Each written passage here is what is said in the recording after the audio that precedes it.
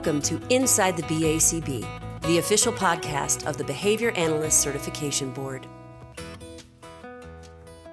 Hi, everyone. I'm Melissa Nosik, the Deputy CEO of the BACB, and I'll be your host again for today's episode. I am really excited to share this new episode of Inside the BACB with you.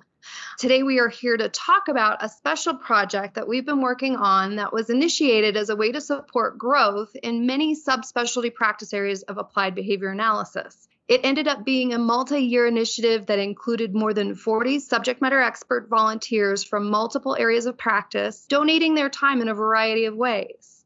For today's discussion, I couldn't be happier to spend some time on the podcast with two of my very favorite collaborators. When we work together, it's always on projects that we value great deal. And it was so fun to bring this initiative to life together and have some great new resources for the profession as a result. So please welcome Dr. Jim Carr, our Chief Executive Officer at the BACB, and Dr. Molli Luke, our Director of Certificant Services. Hey, everyone.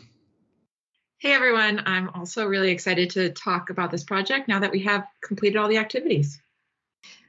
So, to provide some further context for this special episode on subspecialty areas of practice in ABA, at the BACB, we think about infrastructure of a profession a lot because of how important it is to be strategically developing in a somewhat ordinal way. For example, training programs have to teach individuals skills to practice before it will be recognized as a service that's needed, and then jobs become available after that uh, to individuals that are trained in that skill. So the subspecialty practice area of autism services did not exactly follow this ideal ordinal plan. And there certainly have been some growing pains as a result of that. So it was a pretty natural thing to recognize that there were needs in other areas. And I'm not going to go into that too much because Jim is going to share more about that in a minute. But as a note, we're using the term subspecialty throughout this podcast because it's akin to the way it's used in other professions like medicine, where there are subspecialties in oncology, internal medicine, cardiothoracic, etc. And the designation represents an individual having specialized training in that area of practice. So in ABA, the subspecialty practice area where most ABA practitioners work is autism and developmental disabilities there is quite disproportionate representation in that particular area for a plethora of reasons. I'll mention a few strong consumer demand, lots of education and experience opportunities, research, funding mechanisms, and workforce, just to name a few. Other subspecialty practice areas are only beginning to grow in number and in their infrastructure, and they haven't yet had the confluence of variables that could result in like massive growth as it happened in autism and developmental disabilities. So, a focus on developing infrastructure to fill in those gaps might circumvent some of the growing pains associated with the rapid onset of demand that we saw in autism and developmental disabilities. So, Jim, with that context, that was a bit long winded. Could you share some more specific information about our activities on this particular project? Yeah, definitely. So, about five years ago, we noticed that there were a few resources that could be used to easily disseminate information about, you know, the value of ABA in areas other than autism and intellectual disabilities. This kind of dissemination is really important. You know, not only do we need to educate the world about the breadth of applied behavior analysis, but we also need to educate new and prospective students about this as well. So, in an effort to help out with this void, our board authorized resources to do two things. First, we pulled together experts from a variety of ABA subspecialty areas. This group met in Denver back in uh, 2016. We met for a day and we asked them to brainstorm ideas about potentially helpful resources that could be developed uh, to help uh, disseminate and, and, let people know just how broad ABA is. And uh, after that meeting, uh, we've spent the last few years actually developing some of these resources. Now, before we continue, I just want to stress that this was a purely an, an altruistic effort of our board of directors. We didn't do all of this as cover to develop new specialty credentials or anything like that. Uh, maybe something we look into down the road, but it's not on our radar now. We just simply noticed a vacuum of important information. And over the last few years, we've attempted to modestly help fill it. Thanks for that, Jim. Molli, your turn. Can you take us back in time to one of my personal favorite meetings ever at the BACB? It was the 2016 initial subspecialty work group. I'm happy to. As you mentioned, back in 2016, we gathered representatives from several subspecialty areas in behavior analysis to brainstorm a list of resources.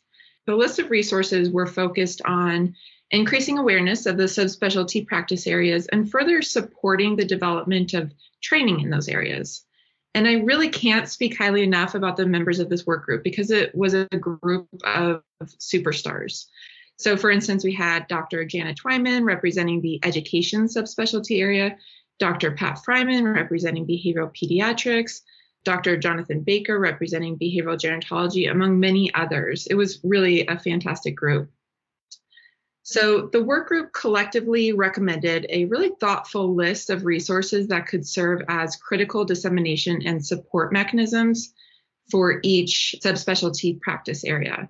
After the meeting, our board of directors reviewed and approved the BACB to facilitate the development of a subset of those resources. So, in the remainder of today's podcast, we're going to highlight the resources that have been developed over the last few years and share some ideas for products that might be more appropriate for other groups, but were really important ideas and could be really valuable resources for the profession. And before we dig in, I did want to reiterate the sentiments that Jim and Melissa have both shared, which is that our role in this initiative was only to serve as facilitators in the development of the resources. We relied on, as Melissa mentioned, over 40 subject matter experts working in various subspecialty practice areas that shared their expertise to develop content. With that, we would like to take this opportunity to thank each person working in these growing subspecialty practice areas that volunteered their valuable time to develop these materials. It was so much fun to work with them because it was an opportunity to see how thoughtful and passionate the subject matter experts were about conveying the research and impacts of their workforce on improving lives through behavior analysis. It's also intentional that none of the materials produced have BACB branding and can be freely used by anyone. There's no copyright requirements. We encourage anyone that can benefit from them to disseminate, use them in teaching courses, post, share them, um, or whatever might be helpful. And the show notes of this episode, you can find all of the links for these resources that we're going to be talking about. Thanks, Molli. So it's time to get to the actual resources and how they can be used, the most important part. Jim, would you please do the honor of kicking us off? Absolutely.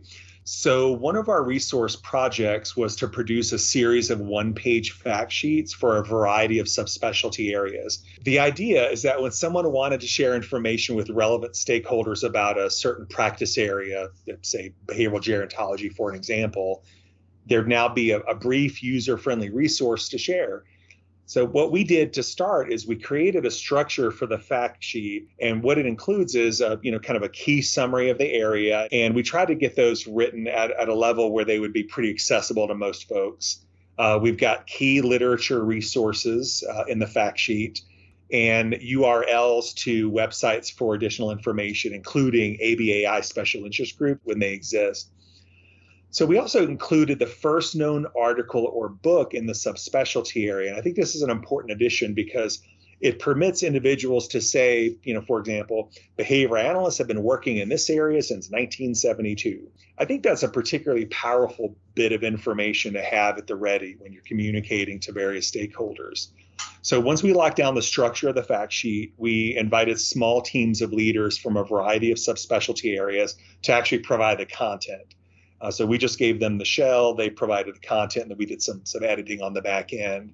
So we now have fact sheets from 12 different subspecialty areas. They're located on the About Behavior Analysis page of the BACB website, and there's a link to this page in our show notes for this episode.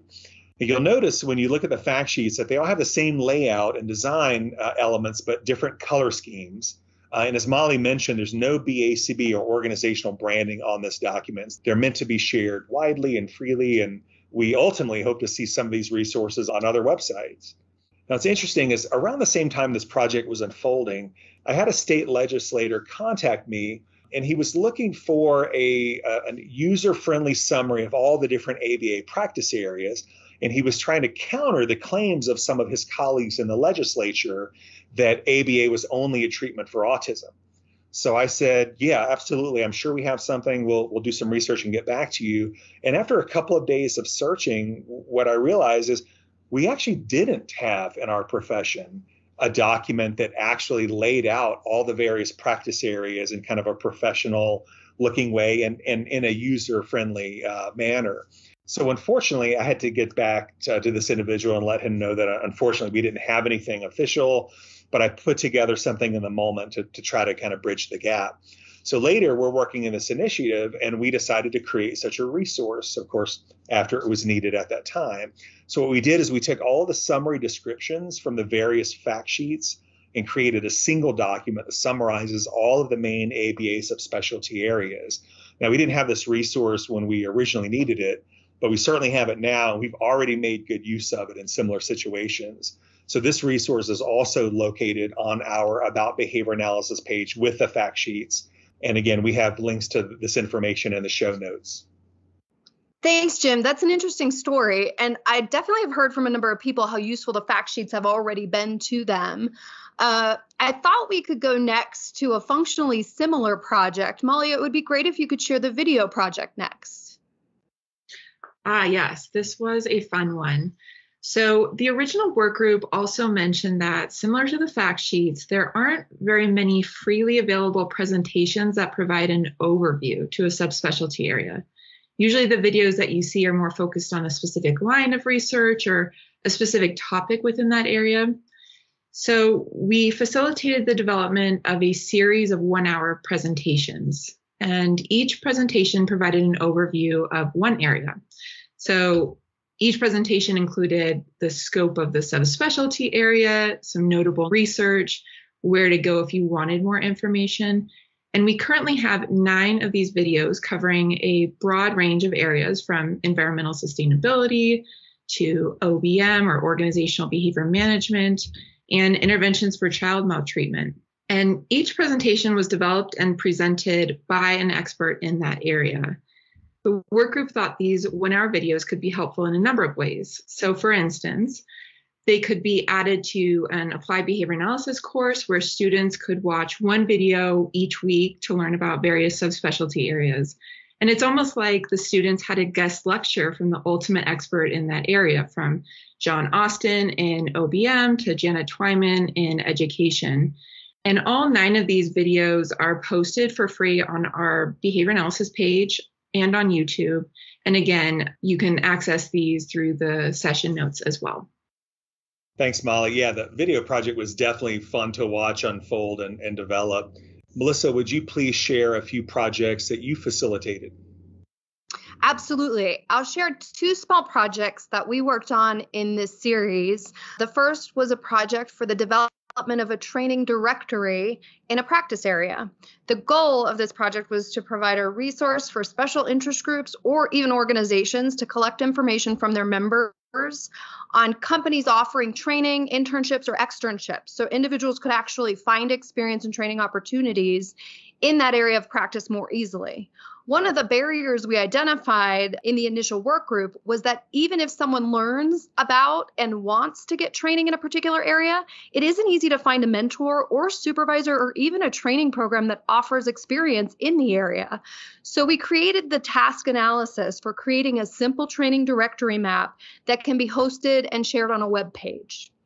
The second small project I'll mention was the development of a general um, guidance document for behavior analysts that are interested in either respecializing or acquiring skills to move into a different subspecialty area of practice.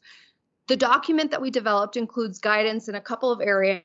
I'll mention a few. So, the first, familiarizing yourself with the research in that particular area planning for acquiring the education, training, and skills necessary for practicing in that area, and then developing a timeline for it.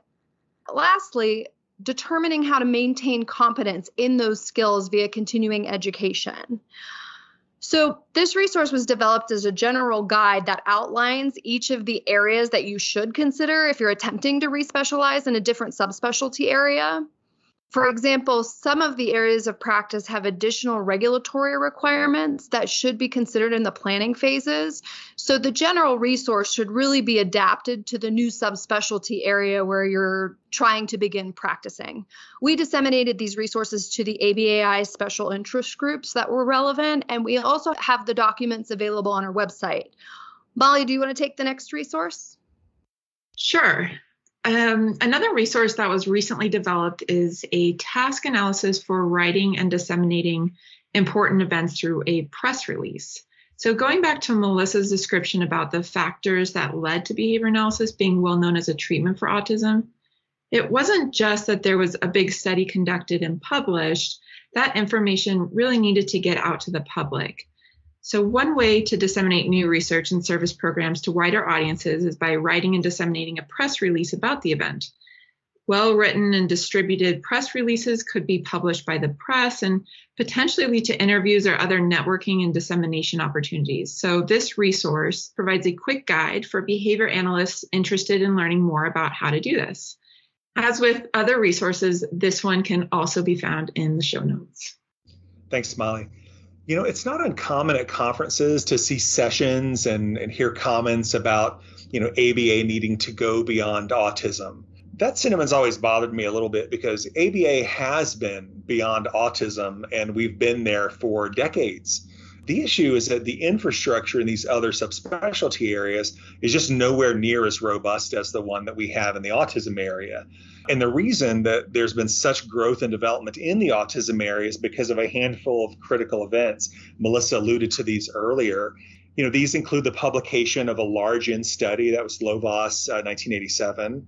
You know, and this study had easily consumable and important primary dependent variables that could be appreciated by non-behavior analysts. A study like that happening today in a, in a certain subspecialty area would be a great candidate for that press release uh, that uh, molli just mentioned. What we also had though was not just that study but we also had parent-led dissemination efforts and these included catherine maurice's let me hear your voice book and then just the tremendous funding advocacy of autism speaks. And so you know all these primary events and a handful of others led to this enormous demand for ABA services in autism. And that's what directly led to growth in the area. Now, other subspecialty areas will hopefully eventually have their own growth story, but it's going to be a different one. There may be some similar elements, but it's very likely that there will be kind of different story beats there. So I don't think it's going to be possible to simply replicate what happened in the autism area, but it's clear to me that any growth in a subspecialty area is likely to involve the people who are already doing that work. So we thought it might be useful to give some subspecialty groups time to have a big conversation about their areas and to do some strategic planning for the future. Now, a number of years ago at the BACB, we used Dr. Peter Dams to help facilitate our strategic plan and since then, because he was just so uh, incredibly useful to us, a number of behavior analysis organizations have used him to help with their strategic plans as well. Now, Peter's a unique resource because he has a doctorate in OBM, but he happens to specialize in strategic planning for organizations. So, what we did is we arranged to have Peter facilitate strategic planning sessions with groups of experts from a variety of subspecialty areas. Now, BACB staff were not present for any of the activities. We just put Peter together with the subspecialty area representatives and let them take it from there. So, Molli, would you tell our listeners a little bit more about what this project entailed? Yeah, you know, Dr. Dams usually provides strategic planning with people at the same organization. So this was a little bit of a unique situation in that the people involved were all working at different places and really, the main way that they were tied together was that they were all involved in that same subspecialty area. But he was really excited about playing a part in helping these subspecialty areas further progress in behavior analysis. So he developed a slightly modified approach. So Dr. Dams met with each group separately over two meetings. Each group would identify common barriers for the subspecialty area concrete steps that they could take to address those barriers and metrics to evaluate success towards that plan.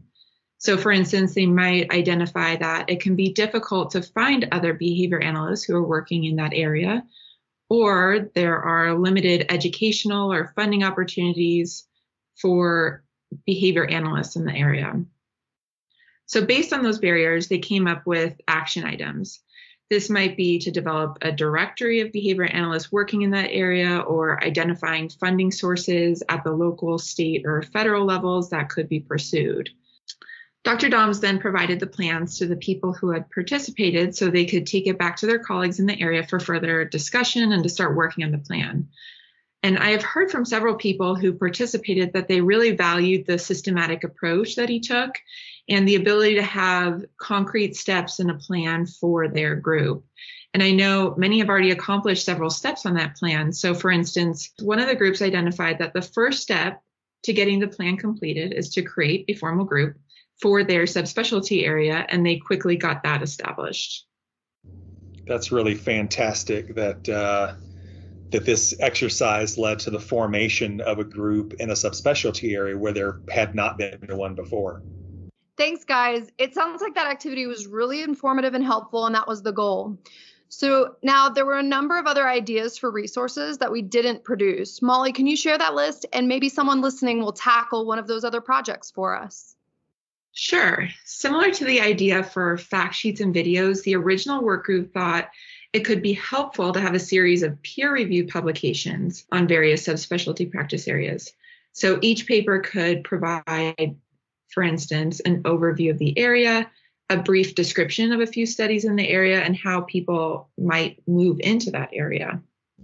That's a really good idea. You know, this would make a really good special section in a journal If we have any possible guest editors out there who might be interested in approaching a journal about mm-hmm. this kind of section, again, kind of like we did the fact sheets, you could establish a structure of each article, invite someone from a subspecialty area to write that article, and then they would all kind of have the same shape, but mm-hmm. obviously different content. And this might also be a nice supplement to the fact sheets because someone might be surprised to hear that behavior analysts have been working in a certain area since the late 1960s, and you provide the fact sheet. If they're interested, they might want something more. This kind of journal article doesn't exist in most subspecialty areas because if you're already working in the area, the idea of writing a journal article for non behavior analysts is probably not high in your priority list. So we have, you know, lots of scholarly reviews of the research literature and original work. But when it comes time to kind of like a, a nicely composed article published in a scientific journal that simply lays out, hey guys, yeah. here's what we're doing in this area, we have virtually none of those. Uh, and so a special section might be nice, and they would pair nicely with those videos in a university course as well. That's a great idea. That is a great idea. There was also discussion about how powerful Dr. Richard Foxx's Harry video was and showing how behavior analysis can change someone's life.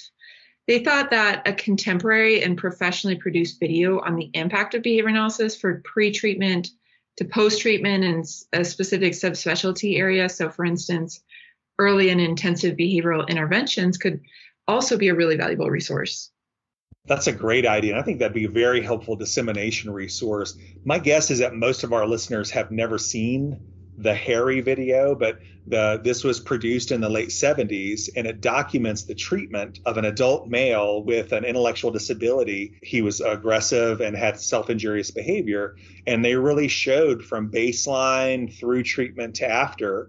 I think it was like 37 minutes that particular video it's too dated to be a, a, useful dissemination resource today but it really showed the tremendous power of applied behavior analysis. And we don't really have uh, videos like that today. I mean essentially it's kind of like a little documentary. I think it'd be great if we could get a professionally produced yeah. uh, documentary that really shows a specific client outcome you know from start to end. Yeah, like an updated contemporary depiction of treatment. Yeah. Another resource to piggyback on Melissa's mention about the training directory is a subspecialty expert directory of people in the area who could be used as informational resource. So, for instance, it could be um, someone who would be interested in doing a guest lecture or presenting at a conference or consulting And this one could be done in conjunction with the training directory or um, as a separate directory. This would also be a really helpful resource to state associations who are trying to diversify their program schedules each year. I could see them, you know, referring to a list like this to find a speaker on particular topics. Great idea. They also suggested creating model syllabi for survey courses in each subspecialty area and providing that freely to anyone who wanted to develop coursework so I know, for instance, the Behaviorists for Social Responsibility Special Interest Group has done something similar for courses in environmental sustainability. So I could see this being developed with a lot of other subspecialty areas. Yeah, this would be a, a great resource. Uh, obviously, this would come from the subspecialty area itself, maybe hosted on the website, and then they could provide a variety of model syllabi, you know, like an undergraduate course in OBM or a graduate course. And in addition, I think it might also be useful for an organization to create a model syllabus for a survey course of the subspecialty areas.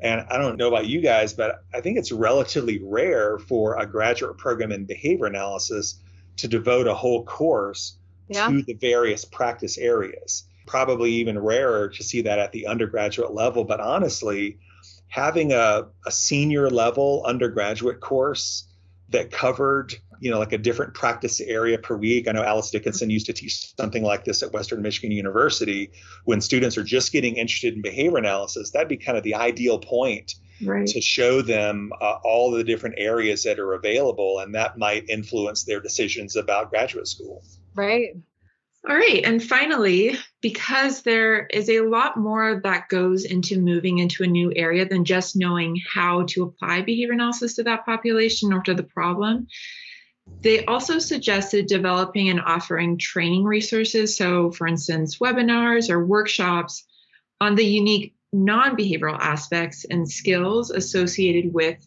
that specific area. So, for instance, an introduction to the funding streams, the relevant policies, all of those could be really beneficial knowledge to know.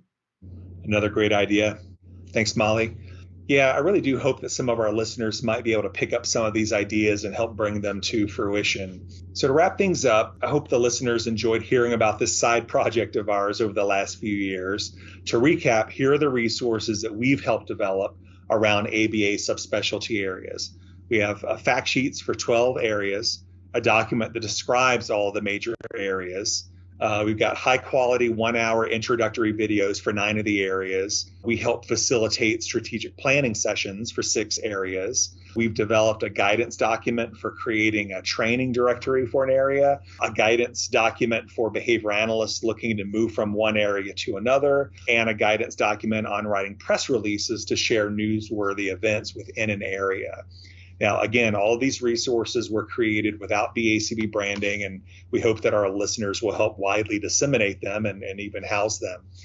As we all know, ABA is incredibly powerful and it's been shown to be effective in many different areas. But I think we all need to work together to help get the word out about this. And for those listeners who are passionate about ABA being applied outside of the autism area, well, I strongly encourage you to pick your favorite application area, find the behavior analysts who are already working in it. There probably aren't that many of them, and I'm sure they would appreciate your support. Now, this was a time limited project for the BACB, and we don't have any plans for additional resource development, although, you know, I can't rule out any down the road. In the meantime, we hope that these modest resources are helpful in disseminating to the public and to some of our junior behavior analysts you know information about the really great work that our behavior analysts have been doing in many different areas and have been doing for a long time Thank you so much for sharing this information, Jim and Molli, for joining me on the podcast today, and to our listeners. And I also want to give two more shout outs one to all the subject matter expert contributors to these projects, and the other to the individuals paving the path for behavior analysis to help people in areas of practice where there is currently a pretty small workforce. We really appreciate you and the work you're doing. As always, thank you for listening and be sure to check out the show notes for relevant links to all the resources that we have discussed in the podcast today. Goodbye for now. Take care, everyone. See ya. Thank you for listening to Inside the BACB. Don't miss future episodes. Subscribe now.